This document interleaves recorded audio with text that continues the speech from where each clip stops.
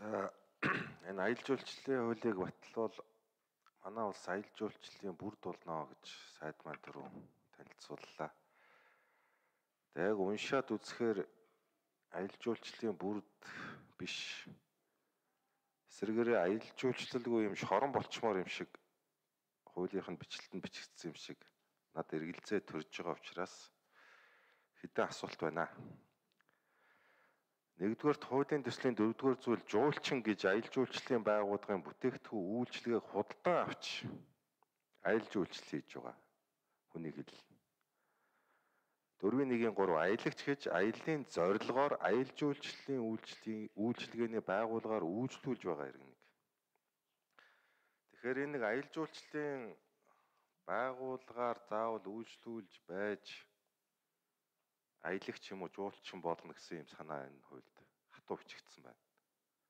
Энэ байгууллагаар үйлчлүүлээгүй явж байгаа хүмүүсийг юу гэж үзэх вэ? Энэ хүмүүс аялагч биш, жуулчин биш болж байгаа шүү дээ. Хууль зүйн хувьд. Тэгээд төрөүний чин зэрэг гишүүний асуулт асуугаад байгаа асуултцэн тэр зөрчлийн хууль дээр гарч ирээд байна. Тэр одоо отоглох газар зөвшөөрлгүйгээр отголсон байх юм бол 100 мянгаар торгоно аялал жуулчлалын байгууллагаар дамжуулж төр энэ байгууллагаар дамжуулж үйлчлэгээ аваагүй бол 1 сая төгрөгөөр торгоно гэдэг зөрчлийн хуулийг хариуцлага тэндээс гарч ирээд байна. Тэгэхээр цүнхээ өрөөд нөгөө үргэвчээ өрөө явж байгаа хүн чинь зөрчлийн хуулиар торгуулах болчихж байгаа учраас манай улс хэрэг дээр аялал жуулчлалыг хаах гэж байна гэсэн үг. Эсрэг юм бодолтой болчиход. За хоёр дахь асуулт нь энэ хууль дээр аялал жуулчлалын байгууллага 3 ангилсан байна. Тур оператор, аяллаа агент, аялал жуулчлалын үйлчлэгээний байгууллага гэж. Тэгээ энэ ангилж байгаагийн би утга агуулга энэ хуулийн бас гол концепц юм байна гэж ойлгосон. Тэгтэл энэ юу нь яг тур оператор юмнуудаа ер нь хувь санаачдагч маань хэр ойлгосон юм болоо. Яагаад ингэж асууж байна вэхээр Энэ аялал жуулчлалын хуулийг дагаж өргөн мэдүүлсэн тусгай хамгаалалтай газар нутгийн тухай хуулийн нэмэлт өөрчлөлт оруулах тухай хуулийн дэстийн 36 дугаар зүйлийн 3-т энэ түүр операторт газрыг 15 жилийн хугацаагаар олгоно гэд бичсэн байна. Энэ түүр операторт газар олгож яах гэдэг. Одоо жишээл энэ чинь зүгээр түүр жуулчин зуучилж байгаа нэг компани ахна шүү. Тэр заавал Баян Улгийн аймагт 15 жилийн хугацаагаар газар аавна гэж эсвэл тэр одоо буур нуурын ирэг дээр тэр газар авдаг газар биш байхгүй. Энэ ер нь юм ойлгоогүй юм шүү. Тэгээ тусгай хамгаалалтаа газар нутгийн хууль одоо сая өчигдөр газрын хуулийг хэлцэж байхдаа өргөн барих хэрэгтэй гэдэг асуудал яригдсан шүү дээ. Энэ хууль чи орж ирэх хэрэгтэй юм шүү. Энэ дагсан тусгай хамгаалалтаа газрын хамгаалтын хуулийг бол би ерөөсөө агуулгыг нь ойлгохгүй эннээсээ улбалаад энэ ер нь түүр компани гэдгээ ер нь ойлгоогүй юм шүү. Одоо ер нь энэ дэлхийн нийтийн аялал жуулчлалын түүр компани гэдэг ойлголт байхгүй болцсон шүү дээ. Дэлхийн нийтийн аялал жуулчлалч ерөөсө гар утас шилжчихсэн. Гар утасны нэг аппликейшн болсон байхгүй. Гар утсаараа билетээ захиална. Гар утсаараа буудлаа захиалчих чинь. Гар утсаараа үзүрвээ захиалчих чинь. Гар утсаараа өвбрээ дуудаад унаага унчиж. Ямар ч түүр компани хэрэггүй болцсон байхгүй. Тэгэхэд заавал ийм түүр компаниар бүх аялал жуулчлалыг хийнэ гэдэг хууль орж ирчээд байна шүү дээ. Эсрэгээр яг энэ бодлогын дэлхийн эсрэг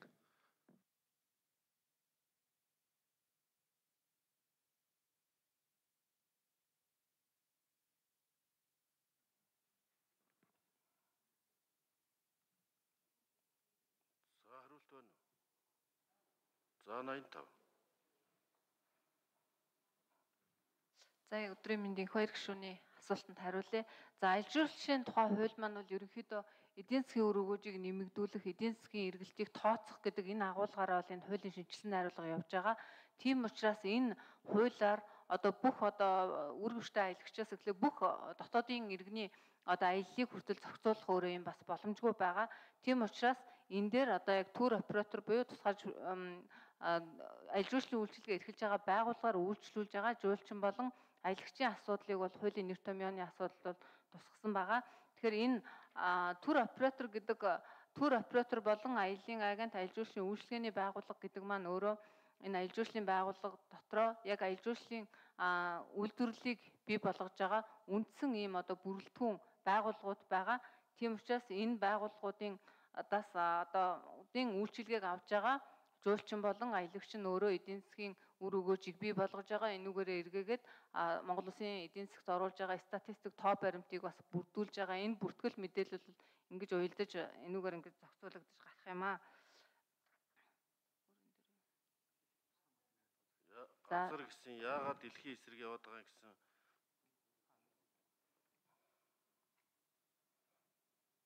За 83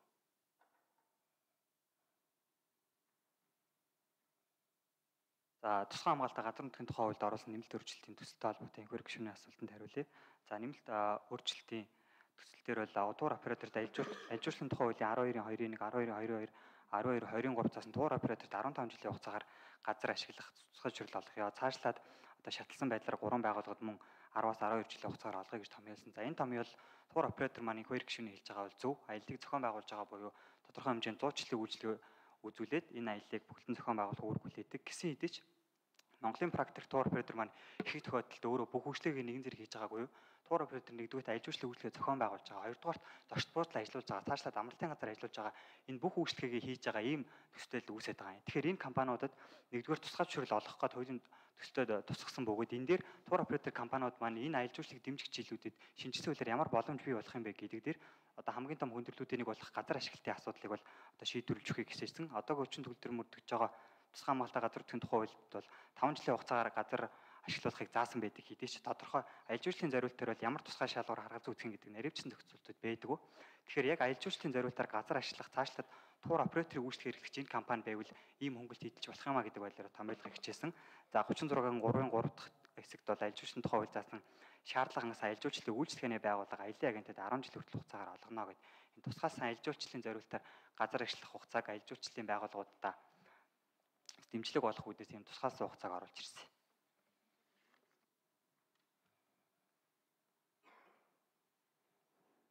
За 86.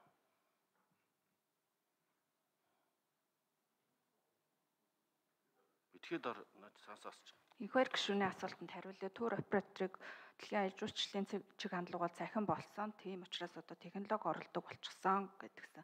Тэгэхээр зэрэг бусад улсууд Казахстан, Кыргызстан, Япон, Сингапур бүгд найрамдах хятад улсын хууль тогтоомжид бол энэ тур оператор аялын агентийн нэр томьёо бол нийтлэгээр хэрэглэгддэг. Тэгээ хүчин төгөлдөр мөрдөгч байгаа энэ аялал жуулчлалын тухай хуульд мөн тур оператор, тур агент нь бол аялал жуулчлалын үндсэн байгууллага байхаар бол тодорхойлсон байгаа. Тэгэхээр бид тур оператор, тур компани гэдэг ойлголт нь бол бид нар дэлхийн аялал жуулчлалын байгууллагын одоо үндсэн чиг хандлагт хууль тогтоомжид нийцүүлж одоо оруулж ирсэн юм ойлголттой баярлалаа. За Батмарын хөргөшн тодруулчихсан нэмэлт нэг минут. Энэ аялал жуулчлалын тухай хуулийн төсөл хууль тогтоомжийн хуулийн шаардлагыг хангаж хангаж улсын хурлд орж ирсэн үү гэдэг асуулт байна. Хууль тогтоомжийн хуулиар чи хуулийн төслийг боловсруулах ёстой. Цахим сан дор хаяж 30 хоног байршуулах ёстой. Иргэд олон нийт ялангуяа эрх ашиг нь хөндөгдөж байгаа байгууллагуудаар хилцүүлэг хийж саналыг авах хэвээр ийм олон шаардлага байгаа шүү дээ. Тэгээ энэ хууль тогтоомжийн хуулийн шаардлагыг одоо хангасан юм уу? Энэ аялал жуулчлалын байгууллагууд нь өөрсдөө асуудал яриад ахыг мань мэд болохоор одоо өчигдөр аваад өнөөдөр хилцээ суугаад ахыг уншиж бүрэн гүйцэд уншиж амжихгүй. Тэгээ зүрт дагсан зөрчлийн үйл бол үнэхээр асуудалтай юм байна. Энэ бол ер нь яаж бодохоор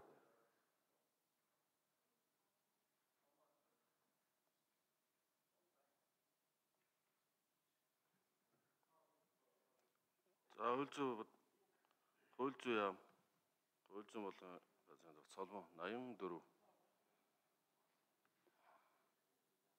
Анхаар гишүүний асуултанд хариулъя. Аялал жуулчлалын тухай хуулийн шинжилсэн хариулгын төслийг боловсруулах энэ хүү явц маань бол яг хууль тогтоомжийн тухай хууль заасан шаардлагыг бол хэлбэрийн урд бол хангасан байгаа. Өөрөөр хэлбэл хууль тогтоомжийн тухай хууль за- зааснаар бол тодорхой одоо гурван судалгаа хийгдсэн байх хэвээр хууль тогтоомжийн эржилтийн үр дагаврын өрнөлөө за хуулийн төсөл боловсруулахсны дараа хуулийн төслийн одоо өрнөлөө за зардлын тооцоо гэсэн гурван судалгаа бол хийгдсэн байгаа. За үүний хажуугаар бол хууль тухай хуулийн дагуу тухайн хуулийн төслийг бол а олон нийтээр хилцүүлсэн байх шаардлагыг бол тавьдаг. Тэгэхээр энэ олон нийтийн хилцүүлгийг бол энэхүү аялал жуулчлалын тухай хууль 2017 6 оноос хойш энэ төсөл маань бол хилцэгдэж явдаж ирсэн. Тэгээд яг сүүлийн энэ а, үлс баримтлалын хүрээнд бол хамрагдах холбогдох одоо энэ ашиг сонирхол бүх этгээдүүдийн хүрээнд одоо энэ оны 4 сараас эхлээд одоо цуврал хилцүүл гэдэг бол хийсэн. Аль жуулчлалын одоо холбоодуудаар ээлж дараалан хийсэн холбогдох саналуудыг нь бас хүлээж авсан.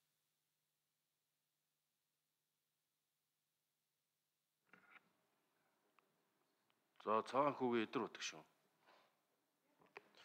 За. За, ил жуулчлалын